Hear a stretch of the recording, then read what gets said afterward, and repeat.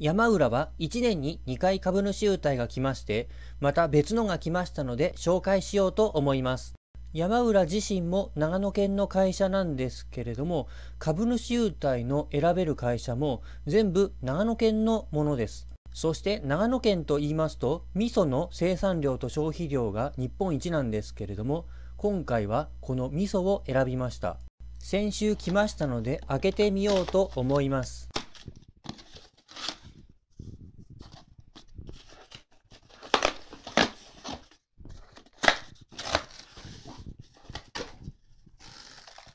8個入ってたんですけれどもさすがに全部食べれないので実家に持って行ったり知り合いにあげたりしました。自分の分は2個確保しておいて冷凍庫に入れておきました。